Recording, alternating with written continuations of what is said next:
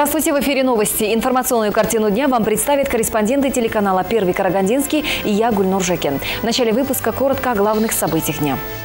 Погибли по вине соседей. Три человека стали жертвами пожара, который произошел в одном из домов на бульваре Мира. Аким Карагандинской области встретился с митрополитом Астанайским и Казахстанским. Владыка Александр сопровождает икону Пресвятой Богородицы «Умягчение злых сердец».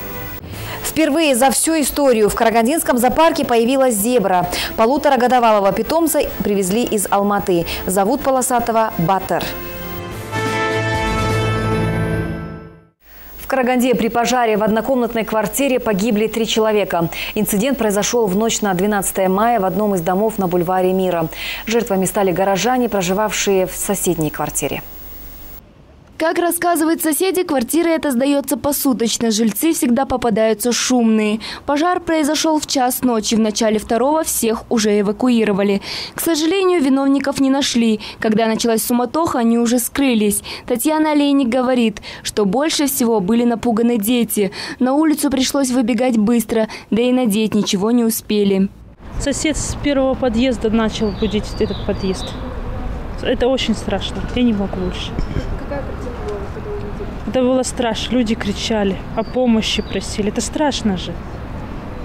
Это очень страшно. В результате пожара погибли три человека, проживавшие в соседней квартире. Они отравились угарным газом. Также с отравлением в областной медицинский центр доставлены два человека. Силами противопожарной службы эвакуировано 19 человек, в том числе 6 детей. В результате пожара а, на месте погибли э, трое человек. А, это было 44 -го года рождения, также 94 -го года и 52 -го года рождения, э, рождения граждан. А также бригадой медицины катастроф было доставлено в центральную больницу города Караганды двое человек. Это 74 -го года рождения, а также 2003 -го года рождения. Сейчас в данный момент выясняется причина пожара. Хозяев квартиры, к сожалению, тоже еще не нашли, так как квартира в момент пожара уже была пуста. Всего в доме пять подъездов, из них два подъезда в момент пожара было эвакуировано. По данному факту ведется расследование. Асель Сазамбаева, Жуслан Макулбеков, Андрей Тимофеев, Первый Карагандинский. К другим новостям. Православной святыне иконе Пресвятой Богородицы «Умягчение злых сердец» в Караганде за одни сутки поклонились около 16 тысяч карагандинцев. Об этом рассказал митрополит Астанайский и Казахстанский на встрече с Акимом Карагандинской области. Приветствуя гостей, Аким Карагандинской области Ерлан Кужанов поблагодарил представителей Русской Православной Церкви за плодотворную работу в регионе в деле продвижения диалога между государством и религией, а также за вклад в сохранение мира и согласия. Глава области отметил, что православные горожане с нетерпением ждали икону Пресвятой Богородицы умягчения злых сердец. Не только в нашем, в каждом регионе вы уже побывали, информирован об этом, со святой иконы Божьей Матери умягчения злых а, сердец является значимым событием не только для православных христиан, но и для вот, каждого казахстанца и для Казахстана. В свою очередь, владыка Александр рассказал об иконе Божьей Матери умягчения злых сердец. Святыня является одной из самых почитаемых в православном мире – этот образ Пресвятой Богородицы представляет собой небольшую икону, отпечатанную полиграфическим способом. Прославился необычным явлением. Практически 20 лет икона непрерывно мироточит. На ее поверхности обильно выделяется благовонное масло, обладающее целебными свойствами. Перед иконой верующие просят защитить от напастей. Патриарх Алексей попросил Академию наук Российской Федерации исследовать это чудо. И государство признало, Академия наук Российской Федерации признала, что это феномен, не поддающийся логическому, э, рациональному объяснению. Митрополит Астанайский и Казахстанский говорил и о последнем оптинском старце Стефане Фомине, который в 1933 был заключен в Карлак за веру во Христа – Прошлый год мы отмечали 50-летие со дня представления этого удивительного подвижника благочестия, который сказал после того, как освободился из Карлага, что он остается на благословенной земле Караганды, которая стала ему дорогой, близкой. И здесь особые люди, здесь особая земля. И мы больше принесем пользы, как он говорил, тем, кто будет приезжать сюда. В ходе поездки в Карагандинскую область митрополит Александр посетил строящийся собор и попросил главу области по возможности ускорить ход строительства. В завершении встречи митрополит Александр и Ирлан Кушанов обменялись памятными подарками. Айнур Нурмангалиева, Улшас Габбасов, Андрей Тимофеев. Первый Карагандинский. Областные власти и предприниматели договорились о равноправных социальных и трудовых отношениях с трудящимися. В областном Акимате в рамках первой официальной встречи главы региона с предпринимателями состоялось подписание двухстороннего меморандума. Для предпринимателей мои двери всегда открыты. Я еще раз хочу повторить. Члены регионального совета предпринимателей, представители суда, заместители Акима области, руководители областных управлений обсудили способы решения стратегических задач. Ранее Ерлан Кушанов уже встречался с бизнес-сообществом, где выслушал их пожелания. На сегодня проведена определенная работа, к примеру, по расчетам дифференцированных тарифов Карагандысу. В целом достигнута договоренность о снижении тарифов для юридических лиц с объемом потребления воды, не превышающих 5000 кубов в год. То есть это составит 22,7%, как вы видите на слайде, с 320,63 тенге за метр кубический доведен до 248 тенге. Данный проект тарифа рассмотрен на региональном совете палаты и согласован с учетом дальнейшего поэтапного рассмотрения вопроса отмены дифференцированного тарифа. Работа в данном направлении будет продолжена. В ходе заседания были также рассмотрены вопросы поддержки отечественных товаропроизводителей, поставки удешевленного дизельного топлива сельхозпредприятиям. Не остались в стороне и вопросы по ремонтам, такие как ремонт аварийных мостов в Жесказгане и реконструкция автодороги Жесказган-Аркалык, а также многое другое. Глава региона ранее поручал разобраться областному управлению. Это первое наше заседание, будем продолжать. И между заседаниями работа должна продолжаться. Это рабочие группы, инициативные группы. Если где-то мы по каким-то вопросам проблема поднимается и дается поручение, решение принимаем, а то есть поручение, это должно затем э, до следующего заседания мы должны отработать. Здесь мои заместители, вот наша команда, и э, с вашей стороны, я думаю, это такая эффективная будет работа. Сегодня накоплен большой опыт по ведению социального диалога. За это время сформировался механизм партнерских отношений по решению социальных трудовых конфликтов. Поэтому в Караганде был подписан двухсторонний меморандум с предпринимателями.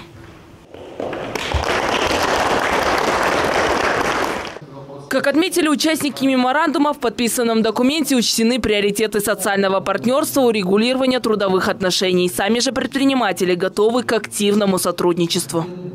Данный меморандум был отработан как э, со стороны Палаты предпринимателей, так и с управлением закупок. И он отобразил э, основные вопросы, э, проблемные вопросы, решение этих проблемных вопросов, с которыми сталкиваются отечественные товаропроизводители при осуществлении государственных закупок. И эти проблемные вопросы в определенных моментах уже были решены теми положениями, которые отражены в данном меморандуме. Теперь такие встречи планируется проводить ежемесячно. Фариза Улбаева, Олжас Габасов, Андрей Тимофеев, Первый Карагандинский.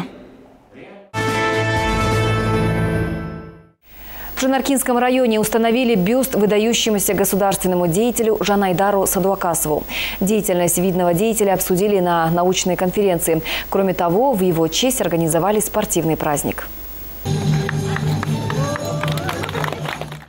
Бюст Жанайдару Садуакасова установили около школы, фундамент которой закладывал он лично. На торжественное открытие приехали почетные гости не только Карагандинского региона, но и из Астаны. Казахстан, республикасы президента. Согласно указу главы государства, в 2016 году в этой школе дали имя Жанайдара Садуакасова. Сегодня мы устанавливаем ему бюст. Его жизнь – пример для последующих поколений. Особое внимание этот государственный деятель всегда уделял духовному развитию общества. Жанайдара Садвакасова ценили и уважали многие. Он занимался разработкой первых казахстанских законов, работал народным комиссаром юстиции и прокурором республики. Однако жестокое время политических репрессий не пощадило и его. Наш брат стал жертвой политических репрессий. Спасибо нашему Ельбасе, теперь его имя реабилитировано. Более того, увековечено. Наша благодарность безмерна. Пусть выпускники этой школы берут пример с нашего брата. Он всегда был патриотом своей земли и верил в лучшее будущее народа. Сегодня в Жанаркинском районе две улицы носят имя Садвахасова. В поселке Тугискен помнят, как он пытался облегчить жизнь соотечественников. В период коллективизации он писал доклады руководству о голоде, о тяжелом положении населения.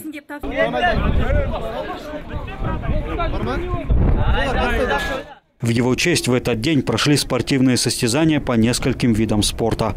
Завершился праздничный день большим концертом. На нем участников конференции наградили ценными подарками. Андрей Тен, Андрей Тимофеев, Первый Карагандинский.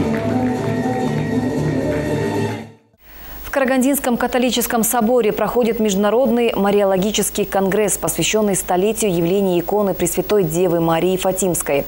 В конгрессе принимают участие епископы из России, стран Средней Азии, а также посланники Ватикана. Пресвятая Дева Мария почитается во всем христианском мире. Не случайно в Караганде совпали сразу два события, посвященные Богородице. В православном Свято-Введенском соборе побывала чудотворная икона Пресвятой Богородицы умягчения злых сердец. А в католическом соборе в эти дни проходит конгресс, посвященный столетию явления иконы Пресвятой Девы Марии Фатимской. В римско-католической церкви отмечают, что чудотворная икона имеет большое значение для всего христианского мира. Что хочу заказать, что была толпа людей, очередь верующих людей, которые заходили в церковь, чтобы почитать эту икону, помолиться и поцеловать ее. О теме уже было сказано. Я благодарен, что вы сегодня могли э, учиться от вас тому, как мы больше можем почитать Деву Марию икона, которая для паломничества по всему Казахстану стоит на пресвитерии и Деве Марии Фатимской. В череде мероприятий Конгресса – конференция, на которой православные священнослужители поделились опытом почитания Пресвятой Девы Марии. Епископ Каскеленский Геннадий отметил, что в Казахстане имеется тесная связь между православной и римско-католической церквями.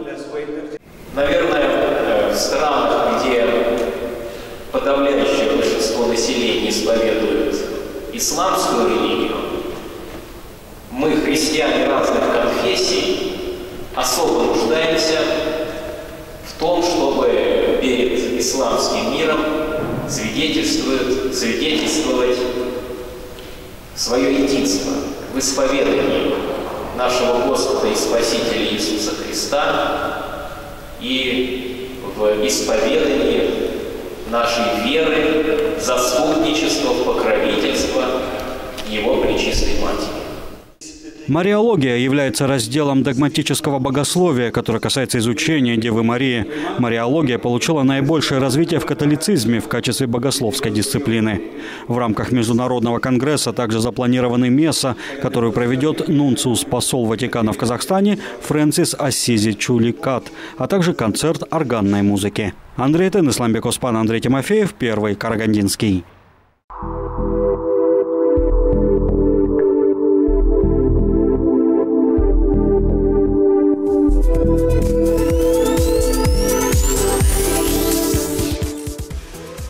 Торговая сеть «Скиф» в Караганде представляет акции с 8 по 21 мая. Напиток «Таежный дар» полтора литра – 199 тенге. Детский стиральный порошок «Ушастый нянь» 800 грамм – 439 тенге. «Скиф» – просто сравнить цены.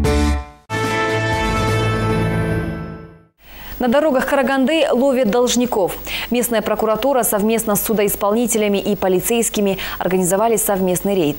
При помощи комплексной системы «Автоураган» выявляют водителей, которые имеют задолженность. Аппаратно-программный комплекс «Автоураган» в городе работает с 2014 года. Передвижной мобильный комплекс предназначен для выявления в транспортном потоке правонарушений, находящиеся в розыске автомашины, неплательщиков штрафов и налогов. В настоящее время прокуратура района совместно с уполномоченными органами и частными судебными исполнителями а, проводится работа по активизации и эффективности взыскания административных штрафов за счет использования автокомплексов «Автоураган» путем проведения совместных акций, рейдовых мероприятий и обход квартир. Представители надзорных органов забирают у неплательщиков автомобили на штрафстоянку и лишают их госномеров. Общая сумма неоплаченных административных штрафов в области сегодня растет с каждым днем. Оно все больше и больше с каждым днем, конечно, у нас увеличивается. Но, соответственно, сейчас на данный момент, если так взять, в любом случае наложение административных штрафов уже гораздо сократились.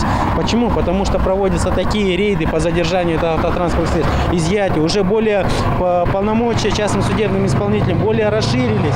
Соответственно, должников уже ограничивают в этом. То есть он уже, соответственно, если у него превышает штраф 20-месячных расчетных показателей, ему уже выставляется запрет на выезд из Казахстана. Он уже с Казахстана выехать не сможет. Накладывается арест на денежные средства, находящиеся в банке второго уровня. То есть должник, если у него есть расчетные счета, депозитные счета, они будут, соответственно, заблокированы. Автоураган за три года значительно облегчил работу полиции. Если раньше патрульный должен был остановить большое количество машин, чтобы выявить неплательщика налогов или подложные номера, то сейчас это делает машина за какие-то миллисекунды. По базе данных сразу же пробивается номер, если есть неоплаченный штраф. Все эти меры предназначены для повышения уровня взыскаемости административных штрафов, отмечают в прокуратуре. Передвижной комплекс «Автоураган» и дальше будет патрулировать городские улицы и выявлять водителей, нарушающих закон, а также должников, уклоняющихся от уплаты штрафов. Организаторы рейда считают, что этот метод реально поможет эффективно бороться с должниками. Фариза Улбаева, Жахсулк Нуртай, Андрей Тимофеев, Первый Карагандинский. К другим новостям. В Караганде началось озеленение по программе развития. Карагандинское хозяйство по охране лесов и животного мира ежегодно проводит лесопосадочные работы на площади 300 гектаров на сумму 1 миллион тенге.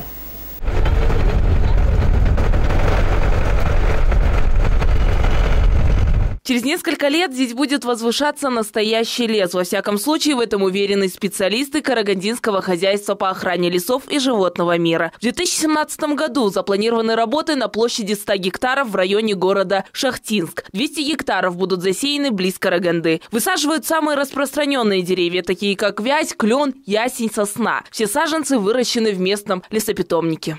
Вообще начинаем мы подготовку зимой, всю технику начинаем готовить зимой. В апреле месяце у нас идет выкопка посадочного материала, который растет у нас на нашем базисном питомнике. С апреля месяца принимаем сезонных работников. Весь посадочный материал у нас хранится э, в заготовленных наших снежниках. Э, и вот в данный момент мы их э, вытаскиваем из этих снежников и осуществляем посадку.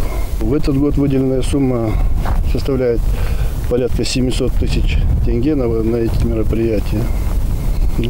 В посадке задействовано 9 э, тракторов, 7 лесопосадочных машин, 4 борона.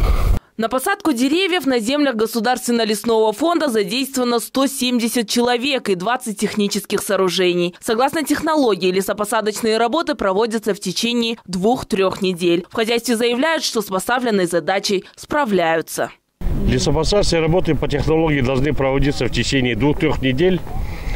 И с чем это, каждый год мы с этой задачей справляемся, но иногда бывает погодно-климатические условия не позволяют в виде дождя. Ну, на сегодняшний день вот э, несколько дней погода стоит, поэтому работы проводятся в день э, в пределах 25-30 гектаров. Планируем в течение двух недель 300 гектаров по нашему учреждению посадить.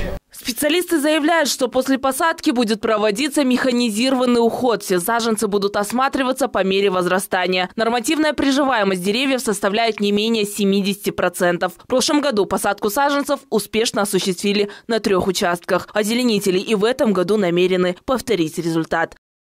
Фариза Албаева, Жаксулк Нуртай, Андрей Тимофеев, Первый Карагандинский. Для карагандинских акушеров-гинекологов провели обучающий семинар-тренинг. Главные вопросы, которые рассматривали участники – это гормональные нарушения женского организма. Участники также подробно остановились на таких болезнях, как миома матки и воспалительные заболевания. Лариса Мухова посещает подобные семинары ежегодно. Вот уже на протяжении 18 лет Лариса работает акушером-гинекологом. В последнее время занимается эндокринной гинекологией. Она уверяет, что именно такие тренинги помогают ей найти ответы на интересующие вопросы. А главное – применить на практике новые знания. Много нового подчеркнули мы за эти дни обучения. Все проблемы гинекологии, репродуктологии были освещены, вопросы очень интересные задавались и получили ответы на них по нашей специализации. А, большая благодарность э, Толшен Мукадасовне э, за то, что Астана э, так рядышком у нас, и нас мы ездим и в Астану, и в Алмату. Есть возможность, но когда лектор приезжает к нам, всегда это лучше проходит, интереснее, для нас это легче проходит.